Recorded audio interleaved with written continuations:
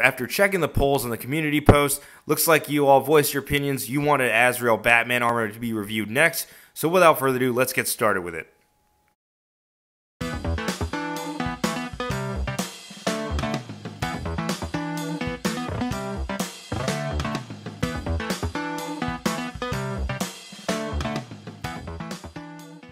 Hey, what's happening, YouTubers? We're back with another action figure review, and today we have the brand new McFarlane Toys DC Multiverse Azrael Batman Armor Gold Label version, and I want to give a huge, huge shout out to my homie and my friend Rob D Toys for hooking me up with this. He was able to find another one for me and send it to me, so I really appreciate it, dude. And if you haven't already checked out Rob D Toys Instagram page, what are you doing? This dude's got some dope ass DC multiverse content on there, or just DC content in general, and some clean, crisp photography shots. So check out his Instagram page and his YouTube and his TikTok. I'll leave the links in the description below.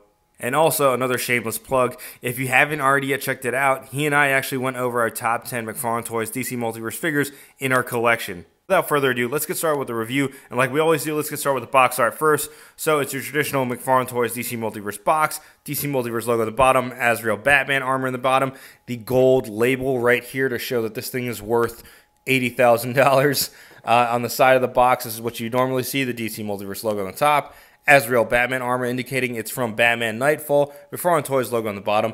And on the back, this is really sick. It's the cover of the Batman Knightfall, and I think I might keep this box. I don't keep many boxes from domestic lines like Marvel Legends or McFarlane Toys DC Multiverse, but I might keep this just because it looks really sick. All right, that's enough about the box art. Let's go ahead and get Batman out of the box. All right, here's Azrael Batman out of the box. Let's take a look at his accessories he comes with first. So he comes with the normal DC base plate you'd see with any McFarlane Toys figure. And just like all McFarlane Toys DC Multiverse figures, he comes with a trading card. And on the back, he has a data file. Feel free to pause it if you want to go ahead and read it. All right, now let's take a look at the figure itself. And we'll get started with the head sculpt first. And it looks true to the source material, not too much in terms of color scheme. But someone in the comments below, correct me if I'm wrong. I'm not sure if McFarlane Toys has ever done this in their DC Multiverse line, but I think this is a figure that definitely would have benefited from cell shading, just because when you look at the source and comparing it to the figure itself. Now, I'm sure with toy photography, there's some ways I can kind of fudge it to where I can make it look close to this. But yeah, I think this figure probably would have benefited from some cell shading. Uh, but I mean, in terms of sculpt, yeah, it's definitely there. You can see the detail in the sculpting in his head sculpt. It's a pretty plain color scheme when you look at the source material. But like I mentioned, it would have benefited from cell shading, in my opinion. Keep in mind, this is coming from somebody who isn't a fan of cell shading. Now, we'll take a look at the rest of the figure. It is beautifully sculpted. Just at a glance, though, there are some portions of the body where it looks like there's a lack of paint detail, but overall sculpt looks sick. And the reason why I say lack of paint details because when you compare it to the card, there is like a noticeable missing difference in color of the collar piece and some other parts of his body. But yeah, sculpt wise looks good. I'm excited to see what customizers do with this figure. It's just for me, who sucks at painting and customizing, it would have been cool to see more paint details on this figure. But overall, sculpt looks great. And looking at the cape, just thinking about this cape's huge. It's a lot of plastic, but this cape's huge. I was like just thinking this would have been dope as a soft goods cape. Considering it would have looked dope as a soft goods cape, it's making me think of getting the Mafex version. Speaking of Mafex, it is unfortunate this was released after the Mafex one because after collectors got the Mafex one in hand, this one was kind of like showing up in the wild. And even though you really shouldn't be comparing import figures with retail domestic lines, collectors are always going to do that. And it's always an unfair comparison because you're comparing something that's about 100 bucks to something that's $20. It's just like when McFarlane released the Injustice Dr. Fate. Shortly after Mezco started shipping out their Dr. Fate figures, there's an unfair comparison. Anyways, that's enough about all that. Take a look at the rest of the figure. There's one thing I do want to point out. When looking at the ankle joints, that's probably the best use I've seen them do for those ball joints, those, those sculpted ball joints out of all the figures so far because you can barely tell that that is a ball joint right there. So they sculpted it really well to where it looks like one consistent piece. So kudos to McFarlane Toys on that. Like if we compare it to the Action Comics 1000 Superman for the first wave, like look at that thing. It sticks out like a tennis ball. Now they're starting to learn and starting to consistently sculpt it so it matches the outfit or the leg. So it just looks like one joint. When it comes to the wrist joint, it is still using the ball joints, but it's fine because it's being hitted by his gauntlet. And speaking of the gauntlet, the detailing and sculpt of this looks nice.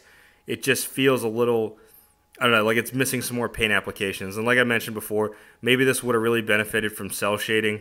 And I also do like the sculpting of the cowls, I guess you could say, or the spikes on his boots.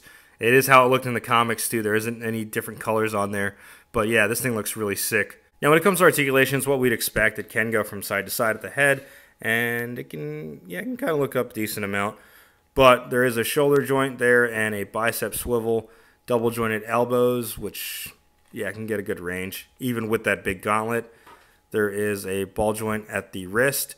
And of course, our favorite diaphragm cut, which can look up real high or can move up, move back, sorry. Fucking skydiving poses. But in terms of forward, mm, not so bad. And then there is a ball joint at the hip. It also has the leg articulation with the rubber diaper, I guess, so you can get a lot of range of the leg going up that far up with double jointed knees and even though it is newly sculpted, you can still have like ankle articulation and ankle pivot and also the toe joint, which I still don't really care for, honestly. I wish they would just do away with every figure having a toe joint and just put it for like a thigh cut. In my opinion, that's just what I would do. And also, I will say this figure is very like top heavy and unfortunately the legs don't really support it as well. That's why I'm saying like as much as I love the design of the sculpt of the cape, I do wish it was a soft goods one. And also the shoulder on mine, I might have to heat it up. It doesn't look like the arm goes down to the side as much as the right side does, so it just kind of looks like that. All right, now we're going to jump right into size comparisons. And first size comparison, here's Azrael Batman armor. Setting next a couple other Batman figures from the DC Multiverse line. We have the Action Comics 1000 Blue Variant Batman and the Batman Year 2. And looking at this side by side comparisons, I kind of wish they would have used this blue tone on the Azrael Batman armor, and I wish they would have used this soft goods cape in this armor as well. Next size comparison here is Azrael standing next to some more DC Multiverse figures. We have the Batman 3 Jokers Batman and the recently reviewed Mega Figure Bane, and I think Azrael and Bane look cool side by side. Like they're gonna make for dope ACBA shots and toy photography shots. Last size comparison. Here's Azrael sitting next to another Azrael figure.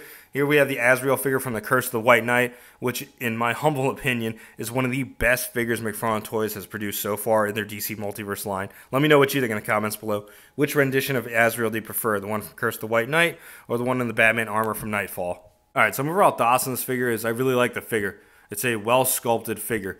I know this might sound repetitive with every McFarlane Toys figure that I review, but it's true. It is a well sculpted figure. When it comes to paint application and paint scheme, it is accurate to the source material almost, but I just feel like something's missing from this thing. Like it's lacking some paint details. And like I mentioned, it could have really benefited from cell shading. And this is coming from someone who doesn't like cell shading at all. Or if they would have used a darker tone of blue, like the one I mentioned from the Action Comics, Action Comics with Thousand Batman. But I still like it because it's an Azrael Batman armor that can scale with my collection, the DC Multiverse line that I have.